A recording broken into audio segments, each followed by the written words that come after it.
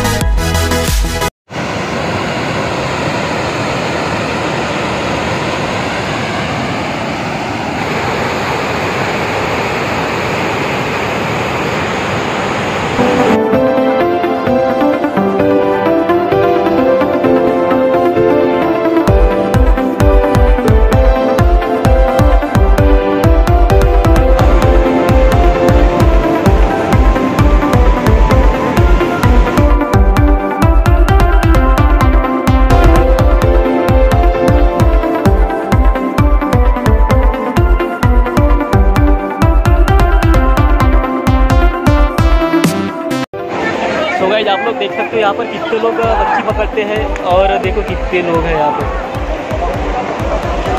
क्योंकि अभी ना, अभी डैम अभी अभी गेट बंद हुआ है यहाँ का तो सब लोग मच्छी पकड़ने पानी में चले गए हैं।